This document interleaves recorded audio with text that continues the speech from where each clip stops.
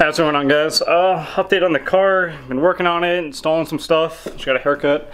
Um, I got hood pins for my car because I'm tired of um, my basically hood latch, it's a piece of shit. Like, I don't know if you guys ever seen me struggle open my hood, but like, it's like with the cage in the way and the actual cable underneath the dash, it fucking sucks to install. It sucks to um, uh, open the hood. So basically I got some new hood pins, they're cheap eBay ones, some Ricer carbon fiber. But uh, I'm installing them, uh, my buddy Grant's installing them for me. I just got home from work. So let's go check in and see how uh, the install is going. What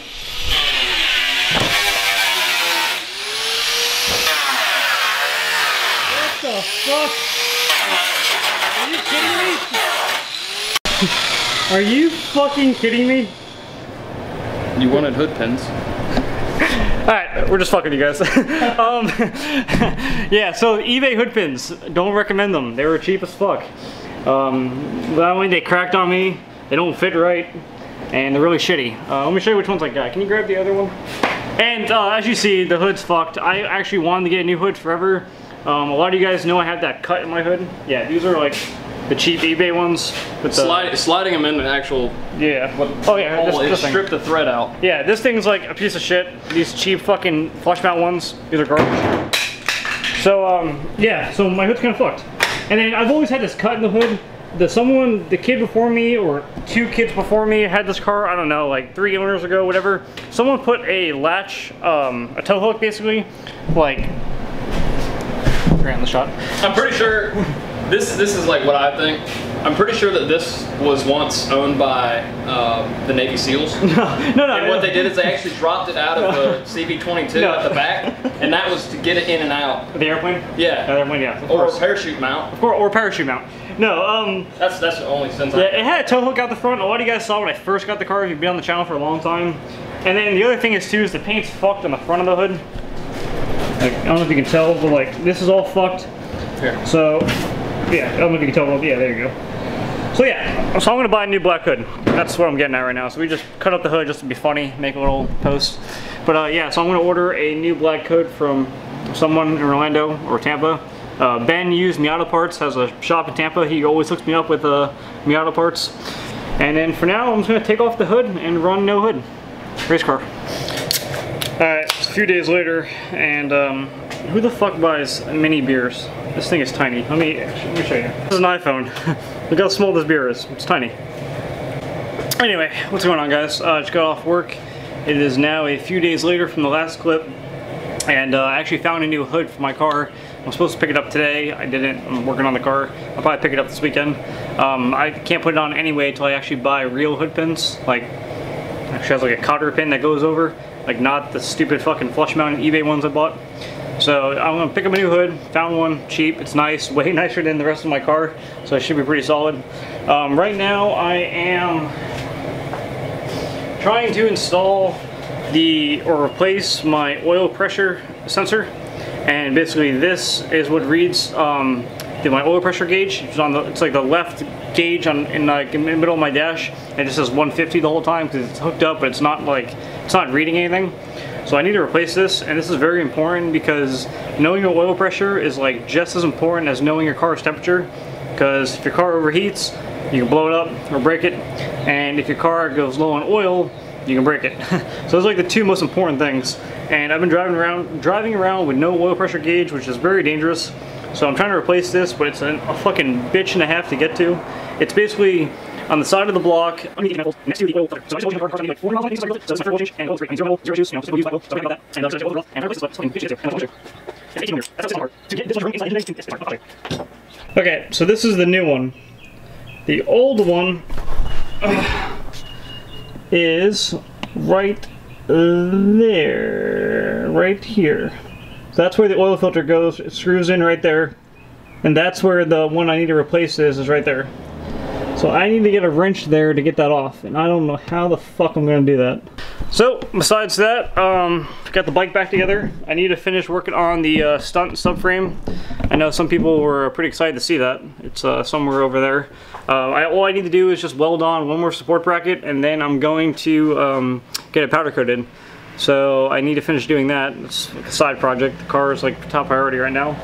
And then um, I need to just button up a little few things this weekend. today is Thursday, Thursday night. So hopefully I can get the car dialed this weekend and not be a lazy asshole and fix everything. Not fix anything, but just button it back up. And then hopefully next week I can turn it, turn the power back up and go to the dyno and see if I can get like 300, 350. I don't know. But the car is at 237 right now, horsepower, and it is fun as shit to drive. I've been beating on it every time I take it out and I rip on it and it pulls. I mean, 240 horsepower Miata, like a true 240 horsepower Miata, it's pretty fun. It's, it's quick, but I need more power. I do. I, all this money, all this time, I want like sketchy fast. Alright guys, so it's Friday, next day, and um, I just thought something pretty cool to do to end this video up, and I figured um, I definitely owe you guys kind of like ride and vlog type scenario. Um, I haven't really driven the car and talked to you guys about it, how it's like to drive a Turbo Miata, so I'm to hook up a GoPro, microphone, windshield mount, and kind of hook up in the car, take it for a spin, and uh, talk about the car. So I'm to do that real quick. Okay, get the mic set up. Just pulling the car out of the garage so I can shut the garage door. All right, there definitely may be a little bit of wind noise. I apologize. Hopefully you guys can hear me. It's the first time really doing this with a microphone, so bear with me. All right, so let me tell you what it's like driving a Turbo Miata. Um, one, I would never, ever, ever turbo my Miata if it was my only car. And I feel like a lot of people watching my videos are turboing their Miata. And it's awesome because it's an awesome car to drive. But man, if this was my daily, it would suck. And it only probably only sucks for me because I have a full cage and no AC and no power steering. And I live in the middle of the desert or basically uh, Florida, which is really fucking hot. Like it's like seven o'clock at night right now, and it's hot as shit out. And uh, that guy almost hit me. Um, oh god, no power steering. Yeah, but that's probably the negatives of driving a turbo Miata. There are so many positives though. Like, so many positives.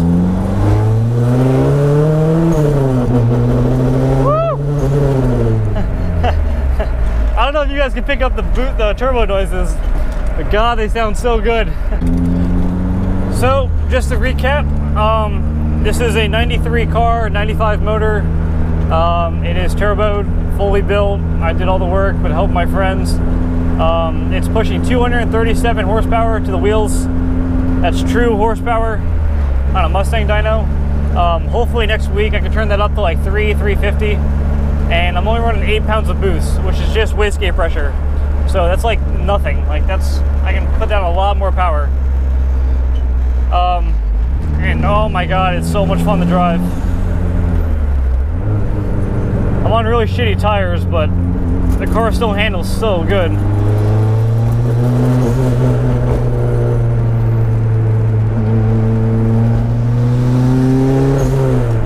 Woo! awesome car. I love it. so yeah, so I just did an oil change on the car. Car's got like a little over 300 miles on it. Running great. I mean, I say that now, knock on fucking wood, but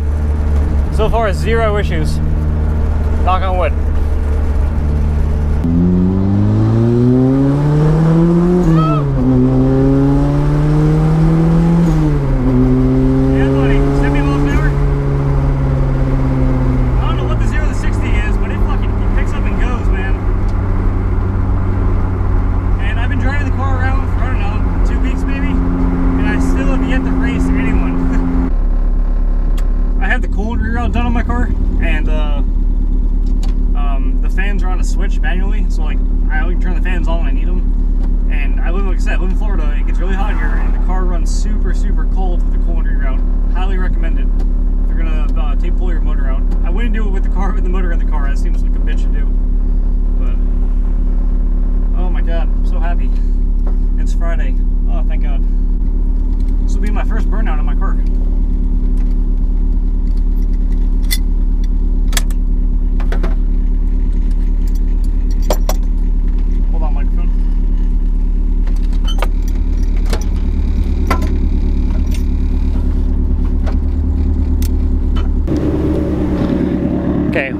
Quick burnout.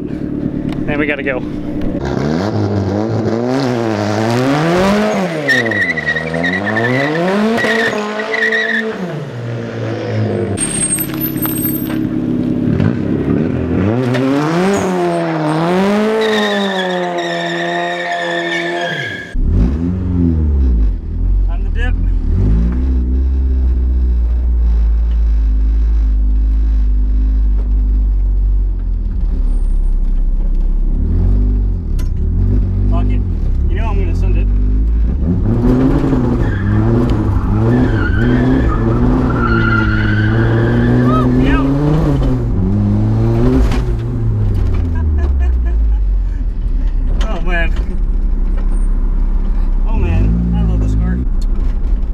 so I think that kind of wraps up this video. I think I filmed a good amount. Um, maybe not. I don't know. A lot of talking. I apologize.